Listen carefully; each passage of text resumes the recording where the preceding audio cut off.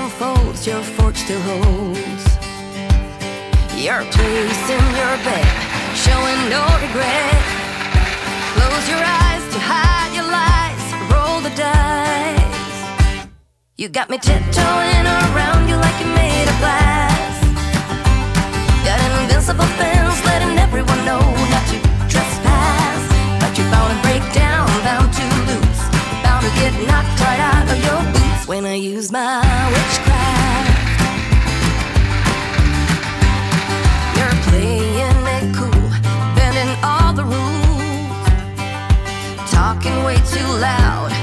talking rude.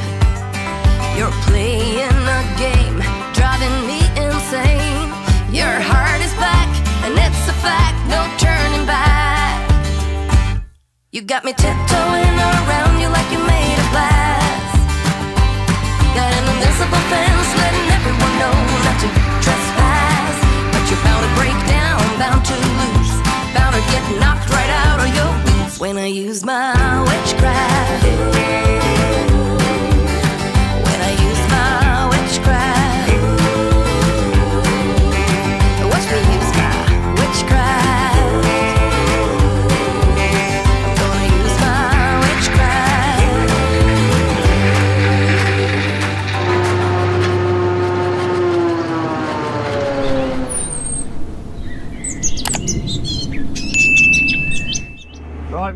Come out to see uh, you and your new machine today. How you doing? but before we get into that, it's probably a bit obvious by now. But just tell us what is it that you do? uh, mainly hedge cutting contracting, um, hay and haylage and straw sales. yeah, you do a lot of grass, don't you? Yeah, a lot of grass. And drilling contracting and ploughing, uh, fertiliser spreading and spraying. Uh, we also do mowing as well. Yeah. Yeah, we came out to see your mowers back in the summer. The uh, which ones are you running now? Uh, two Kverneland, one front mounted and one uh, trailed rear one.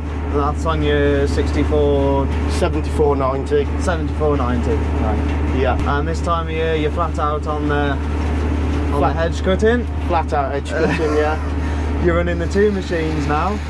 Yeah, we got a 5570 single head, um, 2019 I think she is. And we Yeah. got a 6085, this one we've just had this season. She's about two, three weeks old with a twin cut uh, 1.5 metre head on. Has it made a big difference to you boys having the twin cut or? Yeah, being able to push on, uh, just doing one pass on the top, and even on Big got a few saver, farms, isn't big farm, few farms on two years growth, and it just Right. eats into it Yeah. because the front rotor cuts downhill, and then the back one just neatens it up. Tidies it up and So one pass, and it uh, makes a neat job, yeah. and also less compaction to the farmer for his field around the headland. Does it take much more driving than a single rotor or? Yeah, it takes a little bit more power. You can feel it on the tractor, but it's, it runs with no problem. Yeah. Is it drinking more fuel or no? Uh, a little bit more, but not too much. Just that it makes too much. No, no, not too much. And your hedge cutting tractors? Yeah, we We're in run the 6485, you're running two of them. Yeah, two sixty four eighty They've been doing the job for a bit now, haven't they? Yeah, this one's done just over sixteen and a half thousand hours now. Wow. Um, They're still in mint condition though. yeah, pretty robust tractors. Look after them. yeah. Uh, touch wood, nothing goes wrong with them. It's just odd sensor here and there, and Yeah, they're pretty robust. So Yeah. we keep we stick with them. So when did all this start for you then, Mitch? When did you start the edge cutting? Uh, my dad started in the 80s, edge cutting contracting, Yeah. and then obviously when I finished school and that, 2004-5, I took it on with a PA 93E on a Massey 6460, Yeah. and then he brought me a new one when we took another farm on. We had a PA 53E high reach machine in, I think it was 2005. Uh, we run that for nine years, and that was uh, a little bit tired when we finished with it. And then we had our first 5570, Oh right, yeah, yeah. Uh, we put it onto the 6460 and she was, I was at one farm and he could see air under the wheel. So that's when we had to swap the tractor for something a bit bigger. So we went for this one with a bigger chassis and it handled it no problem. And now you and your brother don't have time to do anything else. No.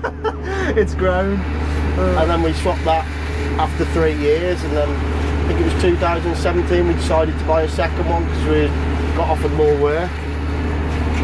And Yeah. then this season we decided to buy the twin cut to try and get on get on a bit more. How much do you get round? It, it lasts you till February, doesn't it? Easy. Yeah, February, March, the weather gets against us through the winter really. Yeah. Getting onto grass fields and finishing off spring corn. But we've got a lot of uh, road sides to do because we cover, well, nearly every farm in the area to be honest. So you've always run McConnel trimmers. Yeah, we've always had McConnel trimmers. They're the best for you, are they? Well, we've never tried anything else to be No. honest, but just stick with what you know. Yeah, yeah, Got a good dealer, so yeah. they've been a good machine. Good solid pieces of kit. Yeah, Is it very different to the single rotor Mitch or no? yeah, it's a lot heavier when you've got the arm out. You can feel it. The, You can notice that on when the you've got the head out, sorry. Yeah. Uh, the weight of this head's 480 kilo, oh right. so there's a bit of weight in it. You do feel it wobbling. But we have had the wheels ballast on this one, which has helped the job a bit. It's holding the tractor down. Uh, but the single one, you don't really notice it when you throw the arm out. A few years back, we had a um, fourth hitch, so it goes onto the pickup hitch. And when you get into the field, you lift it up and it locks against the undercarriage of the hedge cutter. oh right. So it locks the machine solid to save all the rocking when you are in the field. So it's just one below axle brackets. keeps it stable if but you're it on a bit keeps it stable, and Yeah. then when you're on the road, you can drop it down, and she floats on the arms on the road. Oh right. So we managed to fit this to this trimmer as well. So it saves the machine rocking up and down when you're on rough ground, Yeah, yeah. or you got the head in a certain position, and the balance of the edge cutter wants to just keep flopping left and right. What flails are you running on this trimmer Mitch? Uh, on this trimmer we've got F10s on the front which cut down downhill as I said before to cut the thick out and then competition flails on the back Yeah. which cut uphill to just get the nice finish. Oh, so they're running opposite ways Opposite direction, yeah. Then on the other trimmer we've got, we used to have F16s, the heavy duty flails, but they stopped making them because of the cost of them apparently. Oh, so we right. had to go to an F14, which is a good all-round flail to be honest, we're pretty pleased with it. Yeah. And we're quite pleased with this one at the minute.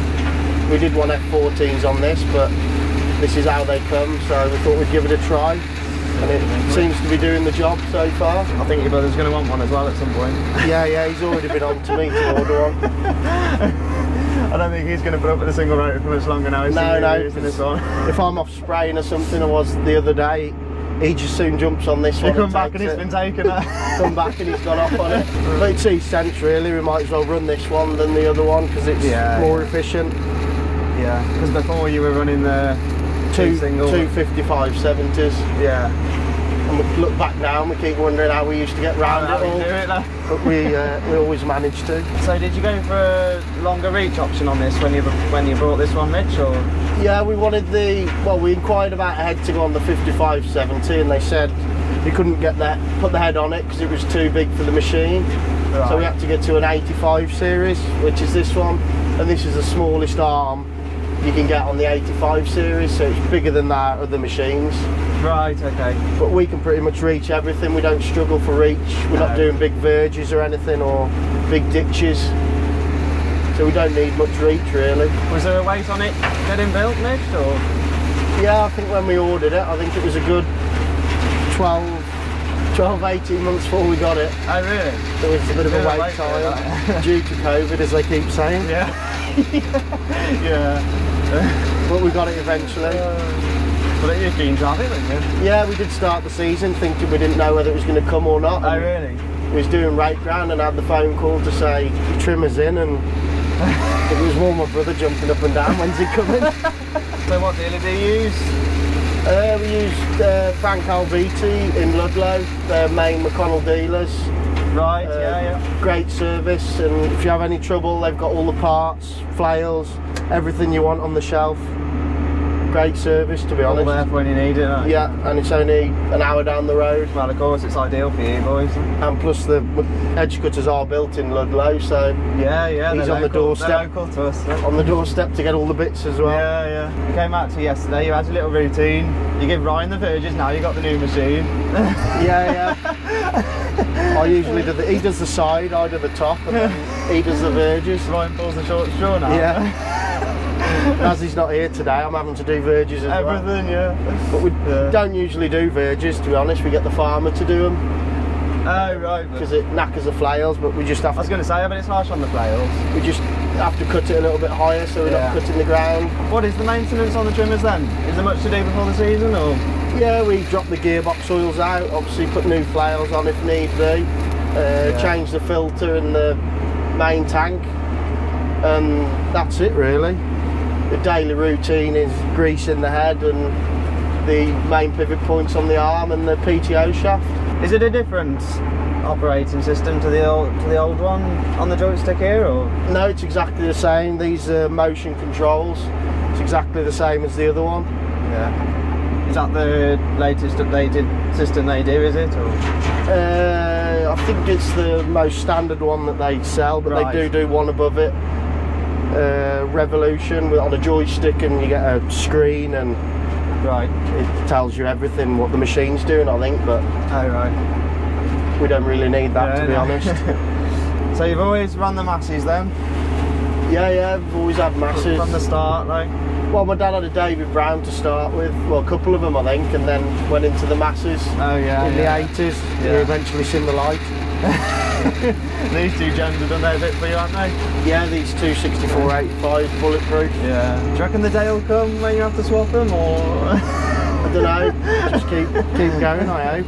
Do you reckon we'll get her up to 30,000 hours this one? you might just get her there, yeah. I'm sure Donkey would like a day on one of these. They're the next sister up from his 6290, aren't they? yeah, we used to have a 6280, but Uh, he's more than welcome to come and have a day on the twin cut if he wants to. Right, well, thanks for having us out anyway the last couple of days, Mitch. Yeah, no Nice to problem. Come out and see you cracking on with it. we'll uh, hopefully come out and see you next year with your second twin cut. Yeah, hopefully. so uh, we'll catch up soon anyway. All right, thanks, Tom. Cheers, Mitch.